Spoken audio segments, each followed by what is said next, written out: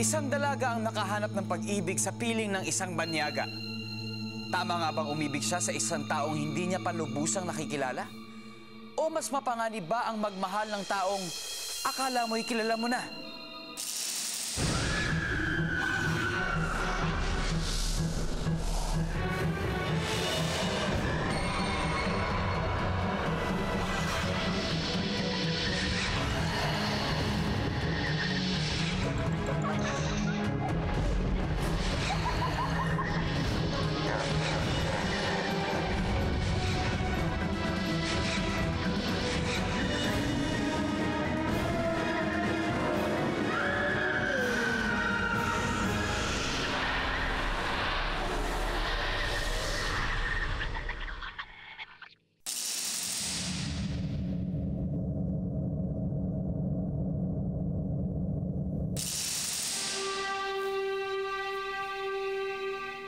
Giovanni, I just wanted to know, don't be afraid.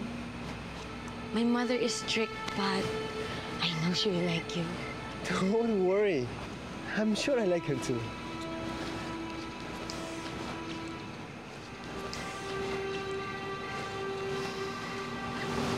The scenery here is, is beautiful. Yes, my province is beautiful. In Milano, do you have, like... Hirap talaga ng shot ang foreigner. Naubusan ka ng English.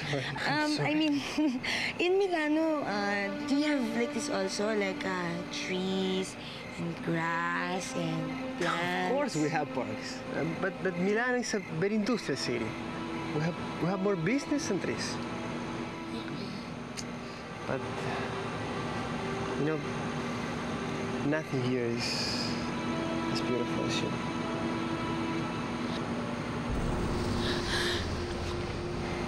Marita, what's wrong? Wa- wala na, malikmata lang ako. I'm, I'm sorry. Um, I don't understand. I mean, uh, malikmata is... You know what? We're here. Come. We're here.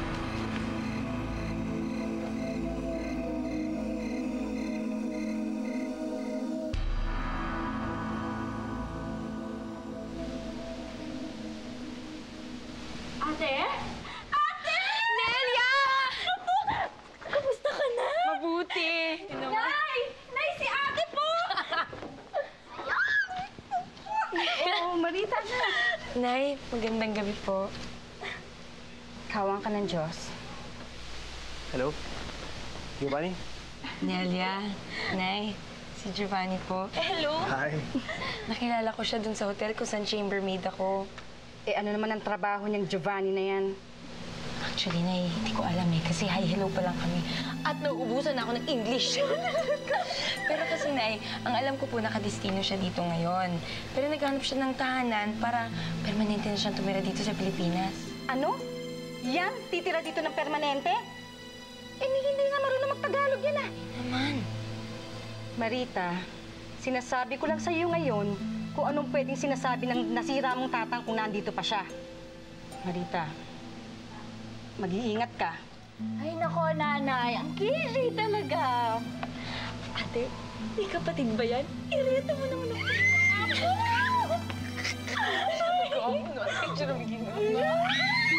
Uy, kakahiya kayo ah. Marita, what are you Uh, uh, nothing, nothing. It's nothing. Hoy, kayong dalawa dyan ah. Nakakahiya kayo ah. Para mga sinisilaban yung mga puwet nyo. Hoy, hoy, kayong dalawa ha. Sinasabi ko sa inyo, huwag kayong magpagalagal at marami engkanto dito.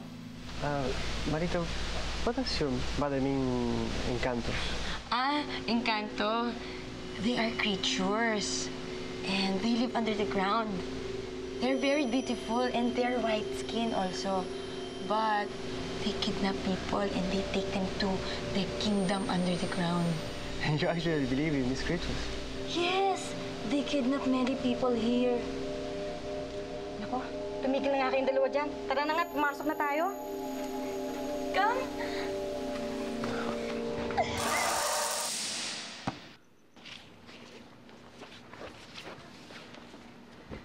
Huy, andiyan ka lang pala. Di ka naman lang lumapit para nabati kita. Para ano pa? Alam ko naman masaya ka sa Amerikano mo. Ay, excuse me po, hindi po siya Amerikano. Italiano po siya. Amerikano, Italiano, basta puti. Ano ba ang labang ko sa puti? Ano ka ba, Ramir? Hindi naman yun ang dahilan kaya minahal ko si Giovanni. Kahit ano pa ang dahilan. Alam ko mas lalong wala akong may pagmamalaki sa'yo. Ramir, wala ka namang dapat ipagmalaki sa akin. Bata pa lang tayo, magkakilala na tayo. Tsaka pareho tayong lumaki sa hirap. Anong dapat mong patunayan? Alam mo nandun tayo mga Pilipino. Pag nakakita tayo ng puti, akala mo nakakita tayo ng Diyos sa lupa. Eh nung hindi mo pa nakikilala yung puting yan, eh ayaw na sa akin ng nanay mo. Ngayon pa ba ako magpapakita ng mukha sa kanya? Paano mo naman nasabing hindi ka gusto ng nanay?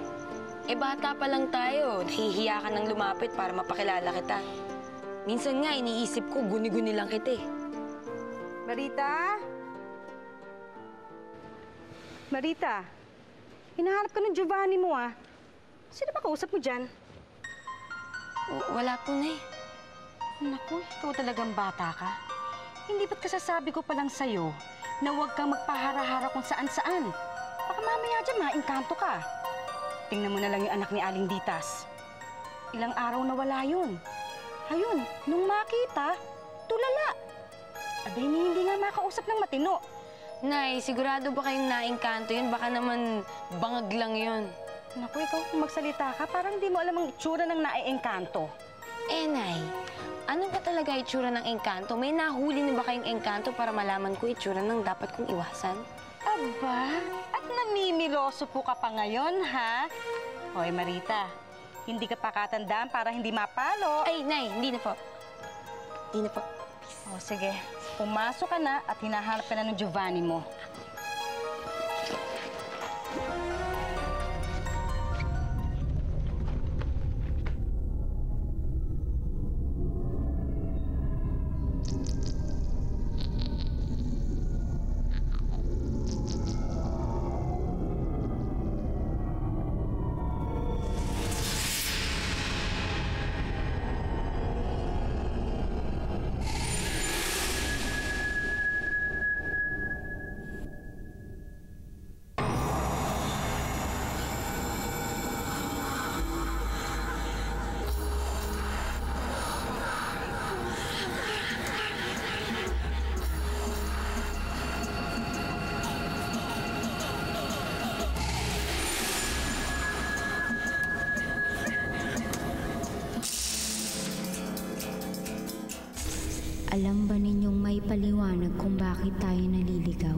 Lalo na kapag gabi?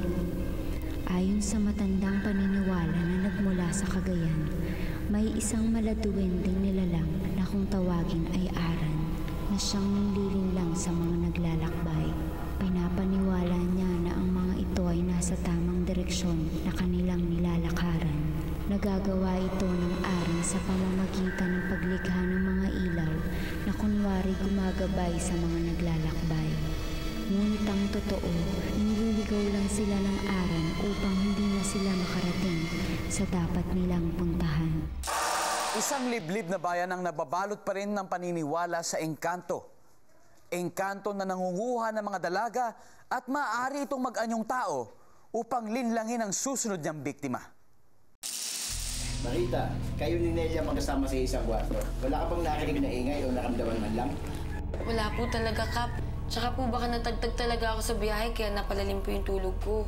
Eh, yung boyfriend mo, wala bang nakita yan? Giovanni, he is asking if you saw my sister last night. But how could I have seen her? I was in my own room last night. I checked up on you. But, but that was it. But Eh, imposible raw pong makita niya dahil nandun lang daw siya sa kwarto niya. Ang nakapagtataka lang, isang gabi pa lang natutulog ang puting yan sa bahay niyo. Biglang nawala si Nelia. Katulad ng mga dalaga dito sa ating nayon. Kapitan, ang ibig niyo sabihin, Ayoko sabihin inkantong lalaking yan. Engkanto! Pati ba naman kayo naniniwala hanggang ngayon sa mga pamahiing yan? Marita, alam mong pwedeng tamang sinasabi ni Kapitan. Alam nating lahat na ang mga mapuputi at ang mga anyong mistiso ay maaaring engkanto.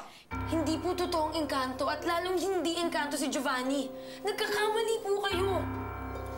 Marita, are they saying that I have something to do with your sister's vanishing? Don't mind them, Giovanni. This is stupid. I came here because I love Marita. And now you're saying that I kidnapped her sister. Sumunod ka na lang sa amin, Marita ni Kapitan. Kailangan makita na natin si Nelia bago sumikat ang araw. Tara na, Kapitan.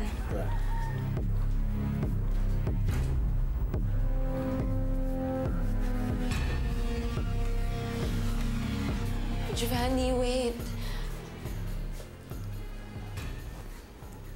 Please understand.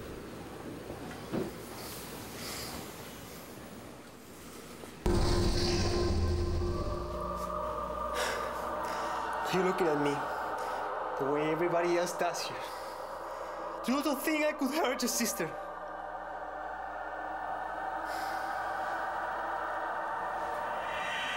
I gotta go off by myself now. I need to think. Giovanni, wait. Marita. Marita. Ramir, ano? Bakit? Marami ako iniisip ngayon. Bakit kasama mo yung inkantong yun? Hindi engkanto si Giovanni. Pwede ba man ikaw ang papadala sa mga kaululang yan? Anong kaululan? Totoo maengkanto, Marita. Hindi totoong engkanto at hindi engkanto si Giovanni. Ang galing niya namang engkanto kung hanggang Maynila nasundan niya ako. Bakit? Kailan mo lang nakilala si Giovanni? ah? Alam mo ba kung anong trabaho niya? Di ba sumulpot lang siya parang kabuti sa buhay mo? Kapangyarihan ng mga engkanto, Marita. Kaya nilang ipakita sa'yo hindi nakikita ng pangkaraniwang mga mata. Kaya nilang sundan ang iniibig nila sa buhay, gaano mang kalayo. Kaya din nilang hubugin ang mga nakikita ng mga mata mo. At kaya rin nilang ipakita sa'yo ang gusto nilang makita mo. Pero lalabas at lalabas din ang tunay na kulay nila. Marita! Giovanni? Nelia? Nelia? Nelia? Nelia, kapatid ko, gumising ka. Nelia, kapatid ko, anong ginawa mo sa kapatid ko? I didn't do anything! Anong ginawa mo? I swear! I didn't do anything! Anong ginawa mo, Giovanni? Anong ginawa mo sa kapatid ko? I didn't do anything! Nelia! Marita! Ano nangyari? Anak ko! Anong ginawa mo sa anak ko? Anong ginawa mo sa anak ko? Anong ginawa mo sa anak ko? Hanip ka! No! Anong ginawa mo Dapat natin dispatchahin na walang iyang kantong to. Kapag di naman po sakta si Giovanni. Kumakapig ka pa sa engkantong to. Umalis ka na, Marita. Hindi mo lang magugustuhan ang gagawin naming parusa sa puting ito. Marita, I didn't do anything! Please! Natin pakinggan to. Help me! Wow, yan! Help! Please! Wala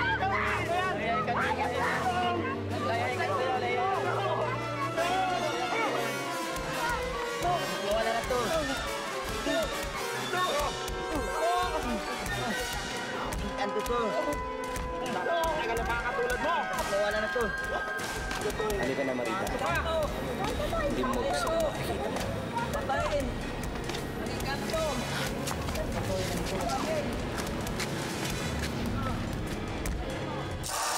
Namir, nasa na ba tayo? Hindi na yata alam tong lugar na to. Bata pa lang tayo, Marita, minahal na kita. Hindi ka pa nagsasalita. Alam kong ikaw ang magiging prinsesa ko. Prinsesa, ano ibig mong sabihin? Naalala mo sinabi ko sa'yo. Nalalabas at lalabas din ang tunay na kulay ng isang engkanto. At ngayon na ang takdang panahon para ilabas ang tunay na kulay ko.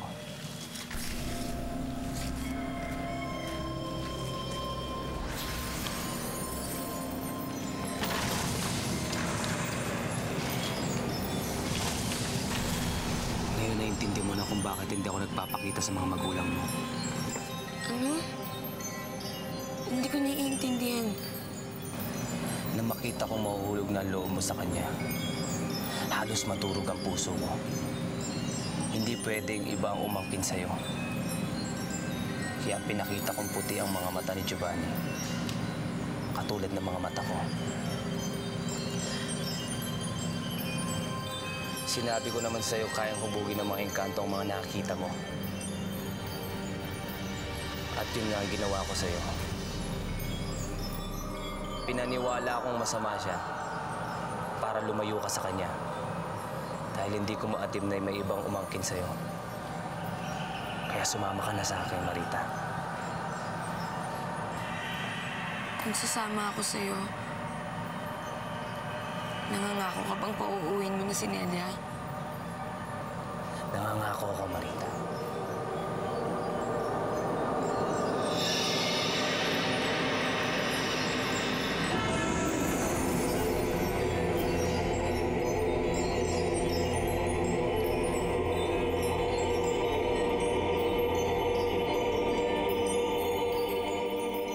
Ate! Marita! Ate, nandito na ako! Andito na kapatid mo, gising na! Nay, alam mo, wala talaga akong maalala sa nangyari sa akin eh. Para lang akong natulog ng matagal. Matagal ba akong nawala? Hindi. Sandali lang. Isang araw lang yun. Bakit mo na itanong? Ganito din ba nangyari kay ate? Nawawala katulad ko? Hindi nawawala ang ate mo. Nandyan lang yan sa tabi-tabi. Marita! Ate! Marita, asan ka ba? Ate, nandito na ako! Marita, andito ng kapatid mo! Ate! Ate! Ate! Ate na... Marita! Ate! Ate! Gising na! Marita! Kung minsan, kailangan natin ng pruweba upang mapaniwala tayong may mga nilalang at espiritong naninirahan sa ating daigdig. At para kay Amparo, ang pruwebang yan ang maghahatid sa kanya ng di masukat na katatakutan.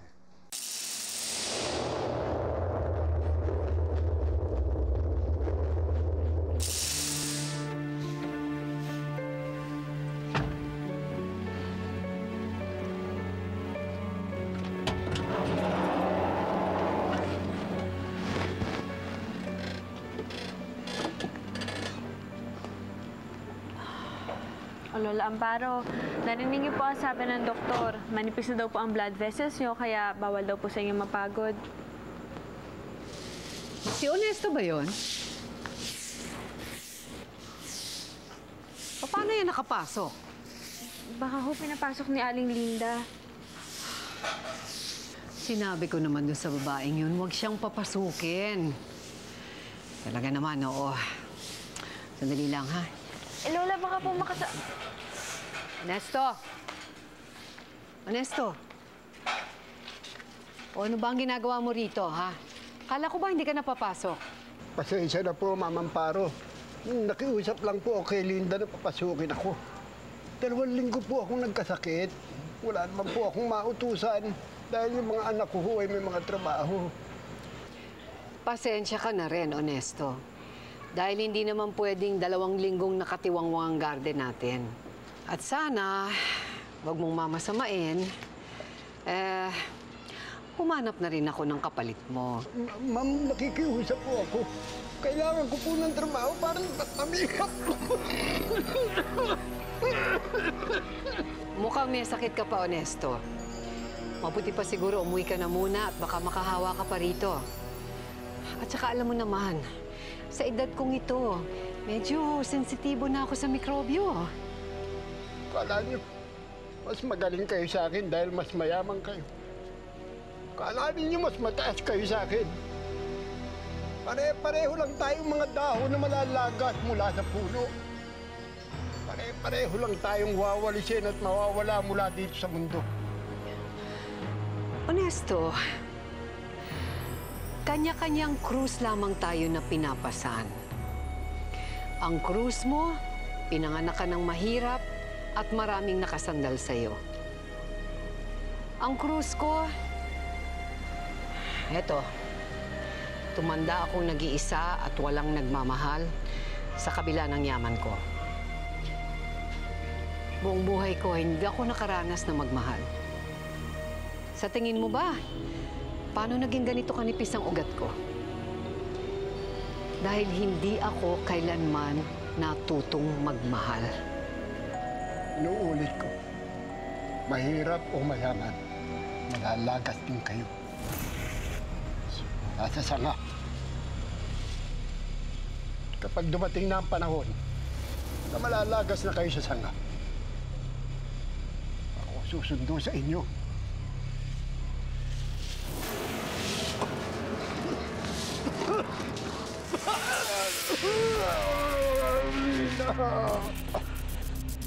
Lando? Lando! Dali niyo siya sa ospital, dali.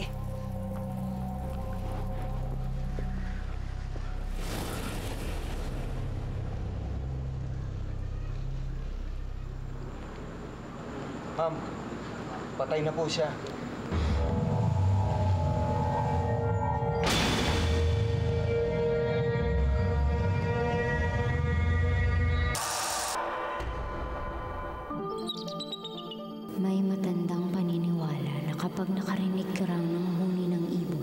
Sa unang umaga ng bagong taon, paghahatid daw ito ng swerte sa'yo.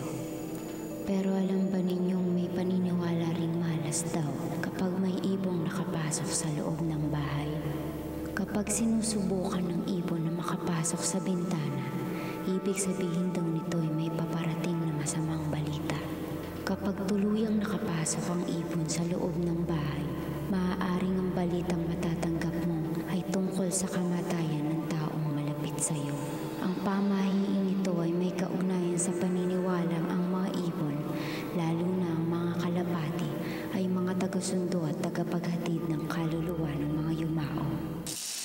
Matanda na si Lola Amparo at nag-iisa na lang sa kanyang buhay. Kaya umaasa na lamang siya sa tulong ng kanyang mga kasambahay. Ngunit patuloy siyang binabagabag ng isang pangitain na nagpapaalala sa kanya ng nakaraan niyang pagkakasala. Alam ko, Emma, hindi ka ganong nasisiyahan sa trabaho mo rito. Eh, ano nga ba naman ang gagawin ng isang kabataang katulad mo? Na ang kasama eh, isang matandang uugod-ugod na, madalas masungit pa. Wala naman na po ako magagawa, Lole. Hirap na rin po ang mga magulang ko. Hindi na po nila kami kayang pag-aralin ng sabay-sabay. Kaya nga po tinanggap ko itong trabaho na to eh. Para naman po makatulong ako sa mga magulang ko at makapag-ipon po para sa pag-aaral ko. Hindi ko na rin kasi inaasahan si Linda. Matanda na rin siya. At pareho rin kami bugnutin. Alam mo, Emma, sa lahat ng mga naging katulong ko, si Linda lang yung tumagal sa akin. Sana, sana magtagal ka rin. Sana nga po. O sige, maiwan muna kita at lalabas lang ako sandali. Pero Lola, mga kasama po sa baga nyo. Mahahamugan po kayo. Hindi, gusto ko lang makita yung mga orchids ko. Matagal ko na silang hindi binibisita eh.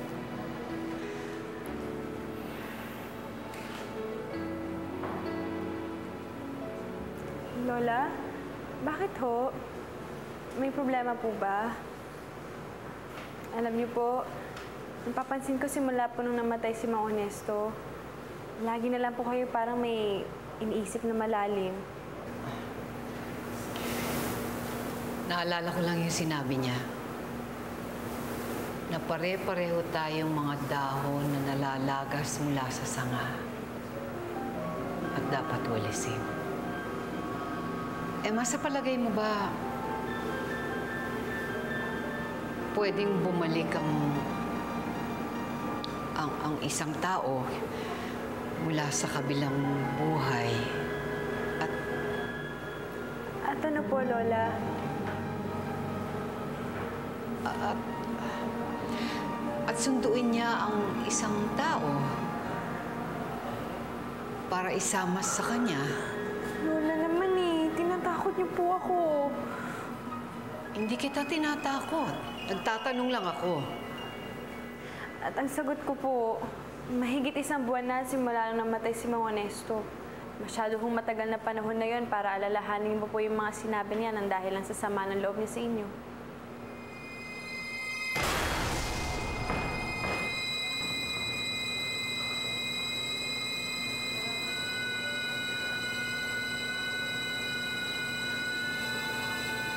May, may dumating ba? Wala po ako nakita.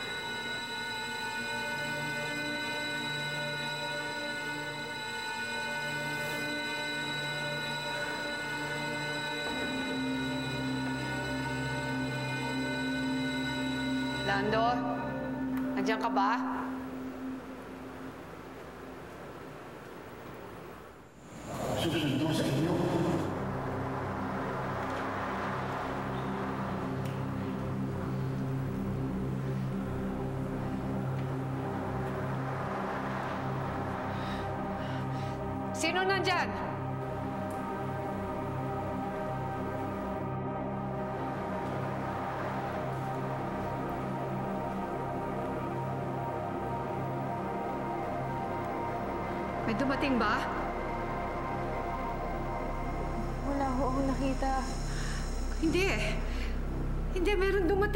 Ba narinig? Maliban ho sa inyo, wala na po ako ibang narinig. Pasensya ka na, Lando, ha? Alam ko, hindi mo naman trabaho yung magstay in dito. Pero mula nung magbukas at magsaray ang pinto na yan, ng sarili niya, aba eh, hindi na mapanatag ang kalooban ko. Lalo na nga't ah, kami lamang tatlo ni Linda at ni Emma magkakasama dito. Eh, puro pa kami mga babae. Wala pong problema yun, ma'am. Okay lang po yun. Ah, siya nga po pala, ma'am. Napagawa niyo na po ba yung pinto? Oo eh, wala naman daw diferensya yung bisagra. At kahit na pa siguro meron, dekandado naman ang susi niyan.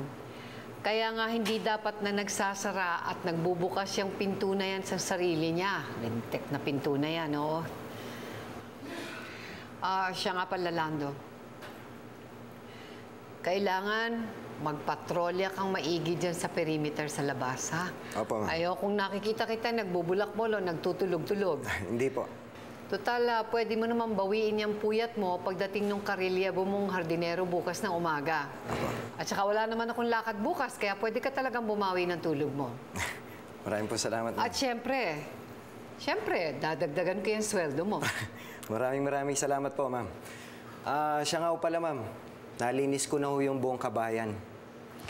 Masilip nga kung mahusay nga talaga yung ginawa mong trabaho.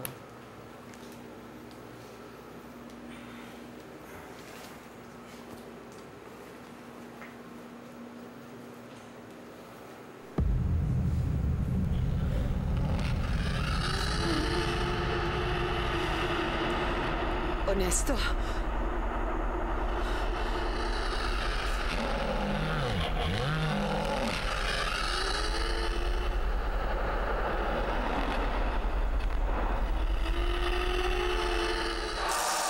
Mayaman si Lola Amparo. Ngunit unti-unti na niyang nauunawaan na kahit ang sarili niyang yaman ay hindi makapagliligtas sa kanya sa ganti ng nakaraan.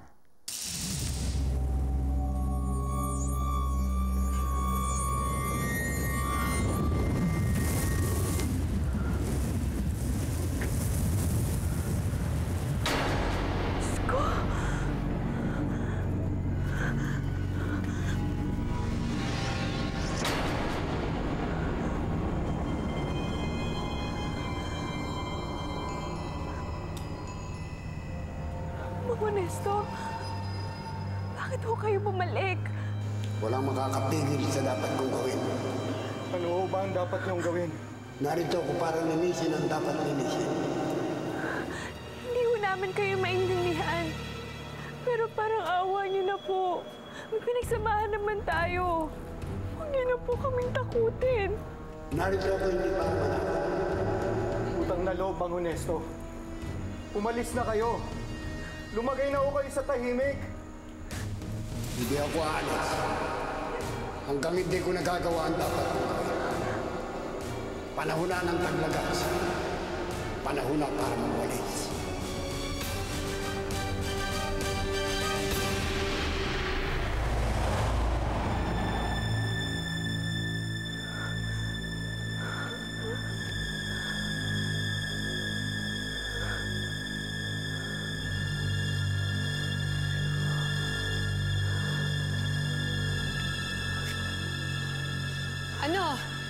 Nakita niyo na ba siya?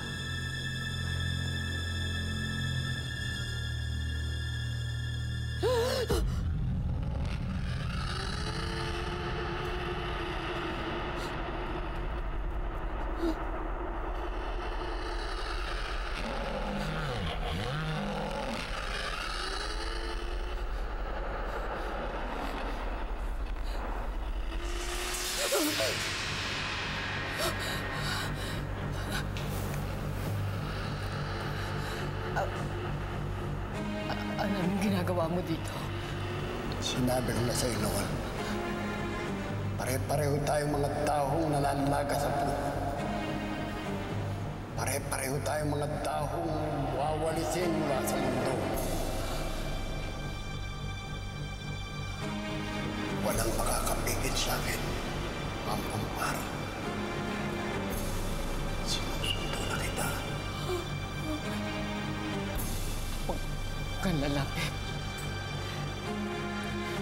Walk.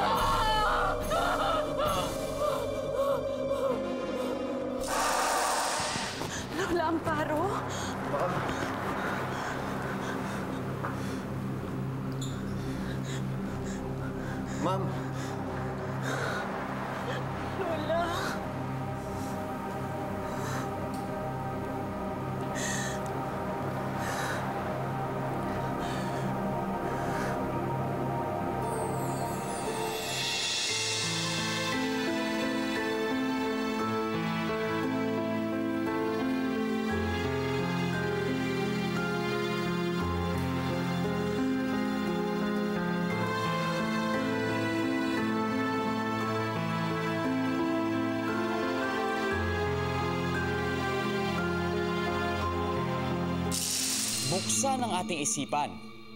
Harapin ang ating mga takot. Dahil sa isang iglap, may hiwagang magaganap. Kaya, wag kukura. Kapag ikaw ay lumilipad,